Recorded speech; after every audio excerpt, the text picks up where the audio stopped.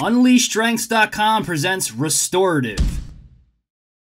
People with restorative are always looking for the bug in the system. They love finding problems that must be solved and coming up with the solution. And they hate the idea of simply ignoring a problem and hoping that it will just magically disappear. You bring a high level of creativity and a boost of courage to problem solving. You are a problem solver.